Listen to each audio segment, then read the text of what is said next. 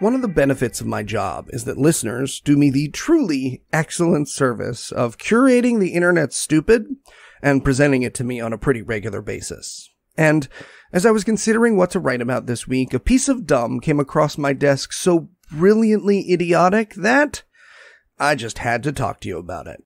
See, it was a post on Christian Reddit in which the poster claimed that the word fundy is an anti-Christian slur and that they, quote, would no longer engage with anyone who used a slur, just like if they had called a black person the end quote. And as I lay there on my office floor, crippled by the sheer dumb fuckery of what I had just heard, I knew what I wanted to talk to you about today. See, here's the thing about slurs. When you say that something is a slur, the word that comes to someone's mind is the N word. I mean, yes, it's not the only slur, but it's the slur of such historical significance and contention that it's what you think of when someone says the word.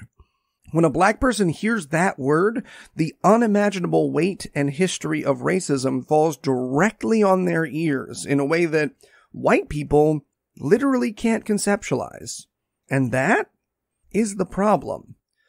You see, because white people literally can't relate to a word representing hundreds of years of their slavery, or a police state designed to murder them, or racism against them that pervades society even today, when we hear a word as a slur, we think a slur means a word that hurts my feelings. More importantly, slurs represent something very different to white people in that it is almost exclusively a form of social power we don't have.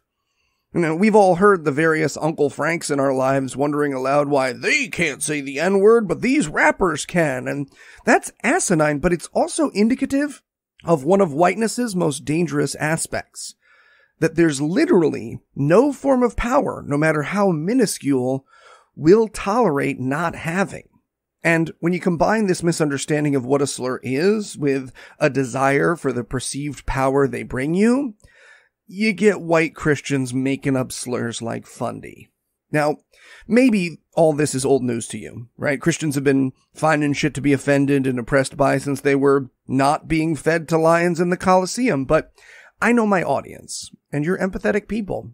Many of you, like me, had a lot of growing up to do over the years, and when someone tells you something's a slur, you're inclined to listen. Maybe you, like me, have been wrong about that kind of thing before. And after all, what could the harm be of being aware of someone else's feelings? Isn't it better to err on the side of caution than dismiss someone's hurt? Maybe. But maybe we shouldn't let Christians and anyone else who steps up to the plate with a made up slur diminish the meaning and power of those words.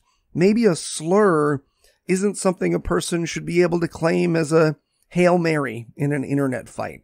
Maybe a slur is a powerful earmark of history and pain that you and I should count our lucky stars we can't relate to rather than coming up with our own real quick to gain back ground in the pain Olympics that I gotta admit only white people seem to sign up for.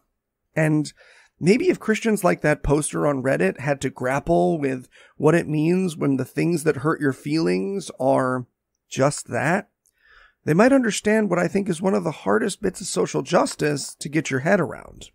That social justice is not about personal discomfort or pain that personal misfortune, no matter how bad, is not and cannot be the same as systematic inequality, and should not be treated as such, just because you'd like to be taken seriously. Look, there are times and places throughout history when it has been hard and even deadly to be a Christian. Nobody's denying that.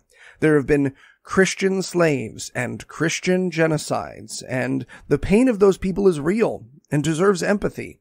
But Social justice, despite the fever nightmares of Ted Cruz, is not about the redistribution of power, and thus is not a breadline for white people to take their place in whenever they feel entitled to it. And this knowledge, this exclusion, it's uncomfortable. It feels bad. It stirs cognitive dissonance. Believe me, someone will write to me about this diatribe to tell me that I couldn't possibly understand what it was like to be a white guy the time they got the smallest ice cream cone at the water park. But it's a discomfort I think it's important white people learn to live with. Because if we do, maybe we'd be a little more eager to solve the inequalities others face rather than focusing on how our own compare.